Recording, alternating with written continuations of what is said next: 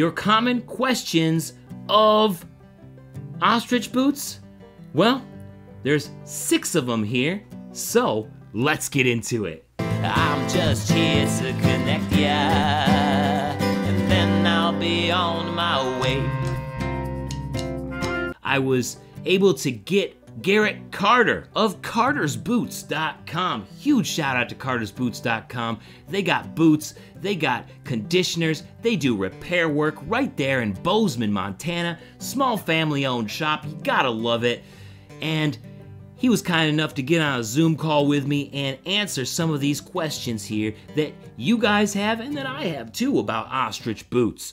Are ostrich boots durable? Let's start there and see what Garrett Carter has to say. All right, everybody, I'm here with Garrett Carter of cartersboots.com.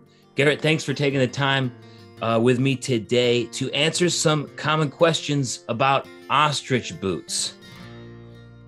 Absolutely. Always excited to talk about them. Yeah, now you do a lot of work with ostrich boots on a regular basis, right? Being there in Montana? Oh yeah, yeah. No, I see them all all the time, coming through, resoling them, reheeling them, fix them all up. Nice. Yep. So, I'm I'm pumped to ask you some of these common questions that uh, I found and that the community has asked. So we got an expert in the house. I'm going to start with question number one: Are ostrich boots durable? Yes. The it's a dry desert bird is extremely durable for how thin the skin is.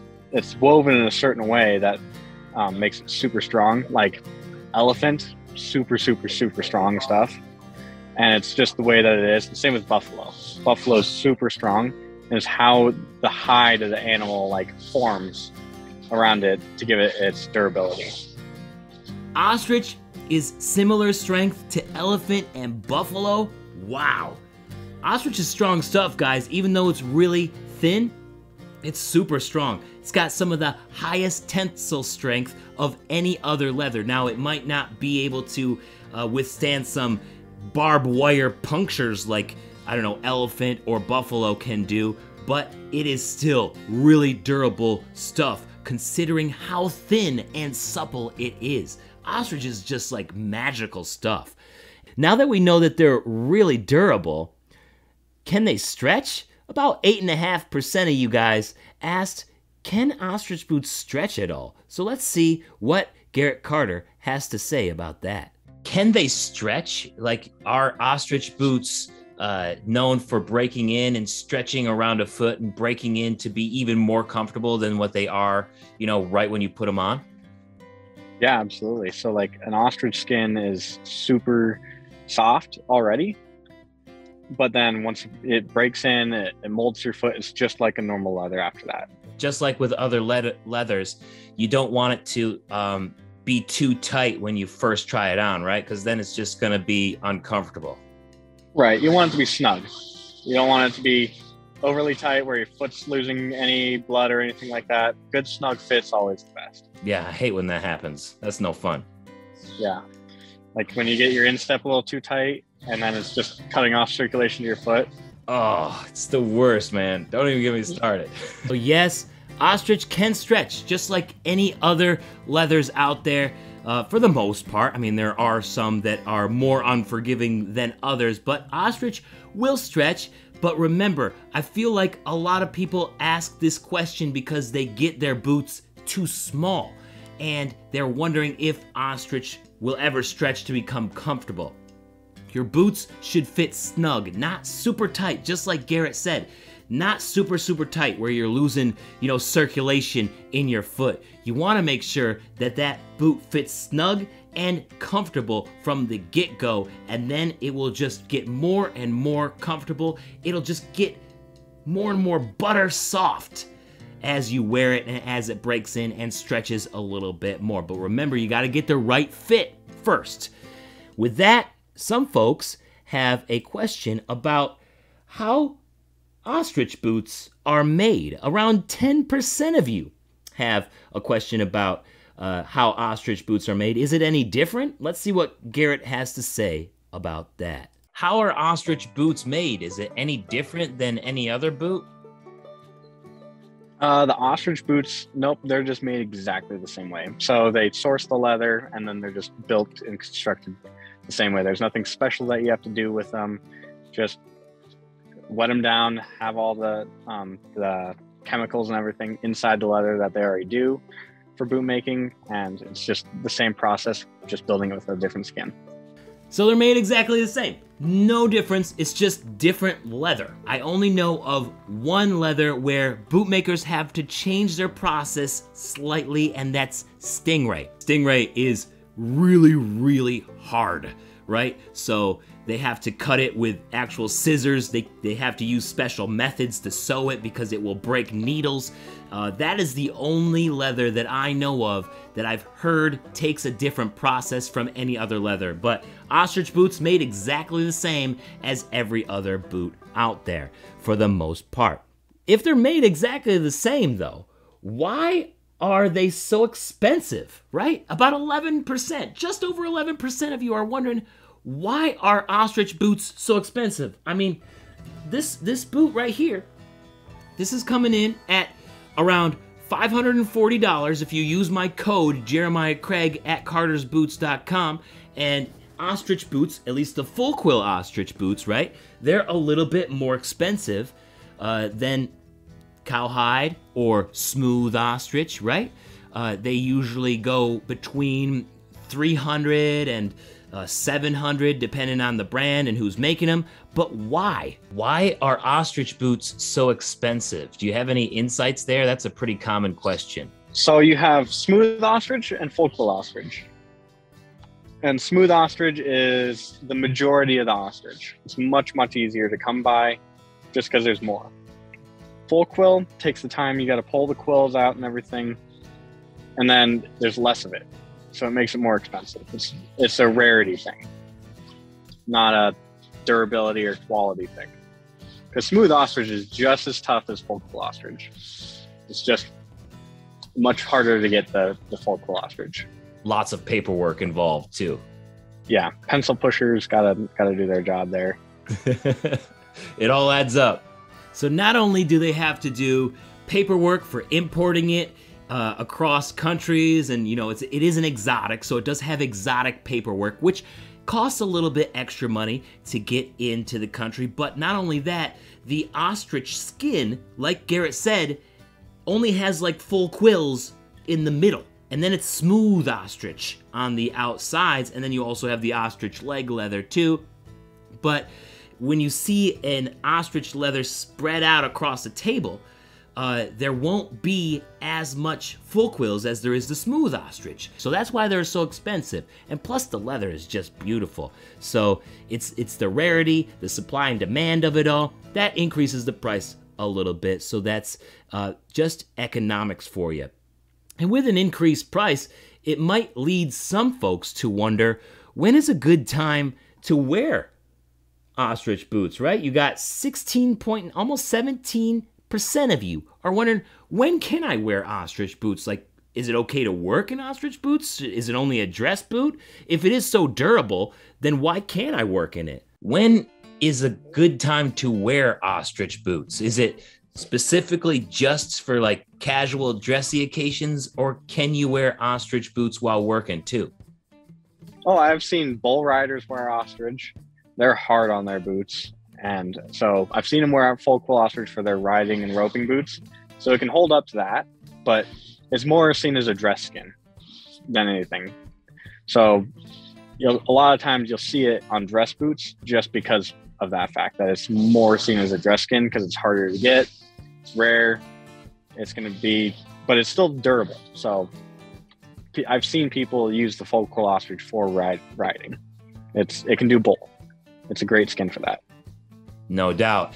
And when you spend a little bit more money, usually most people are going to be a little bit more careful because they want that boot to last as long as possible so they get the most return on investment.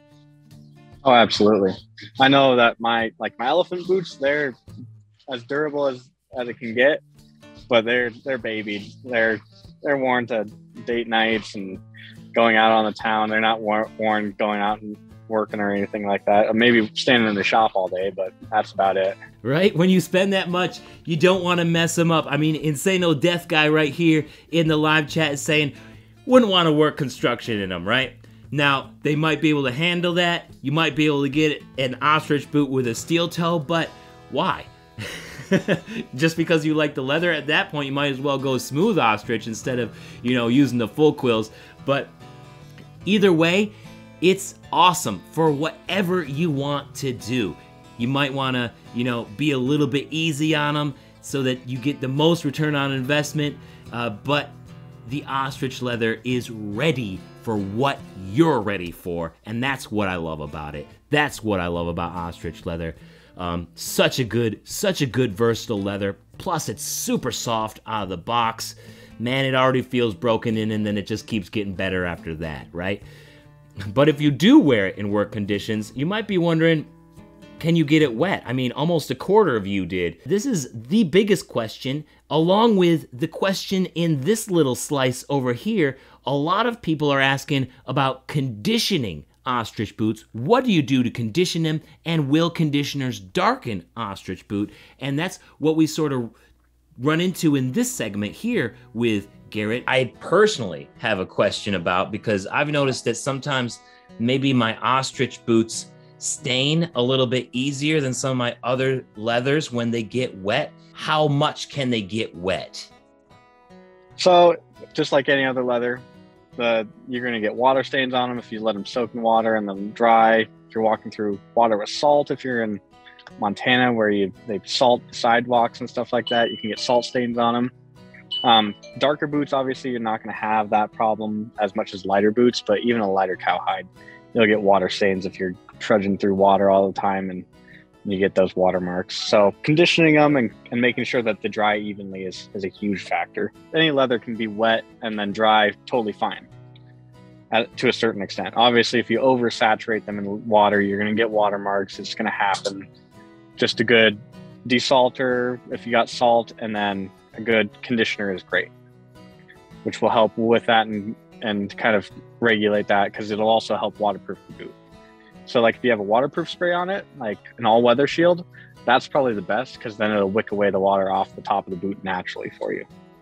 All right. Now, are there conditioners and certain treatments that you can use on ostrich leather that won't darken the leather? Like you're saying, you might uh, run into staining problems on, say, this rum brown, but you're not going to run into a staining problem on a black ostrich. What are the sort of treatment methods and conditioners you use so that the boot doesn't darken?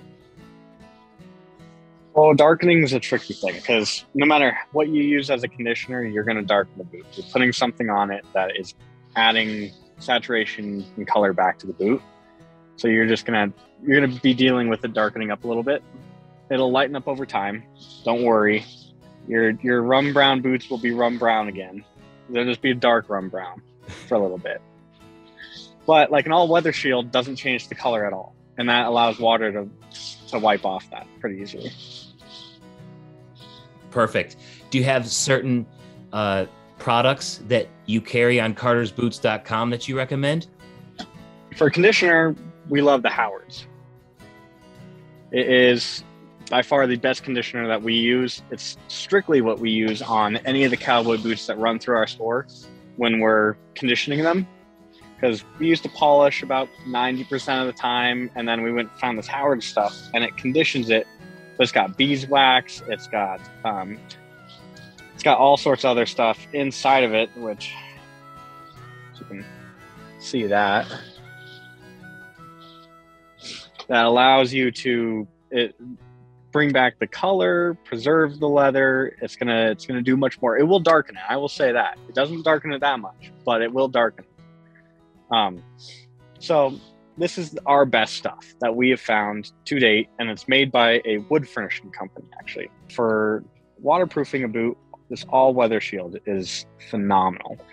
I've put it on all sorts of stuff from cowboy boots to my whites to even my Nike tennis shoes that I have. And I can I've stuck my foot in the water and it came out completely dry.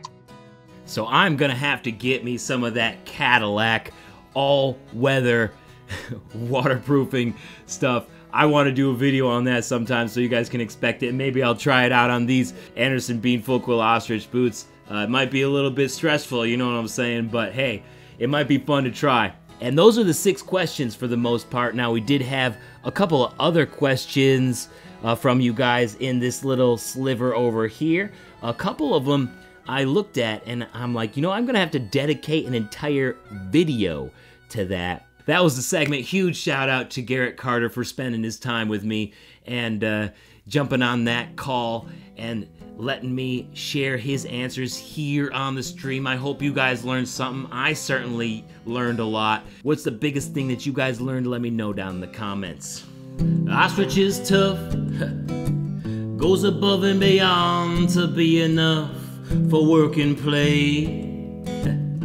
Wear it every day. Yes. Huge thanks to Carter's Boots for helping us out with this video today.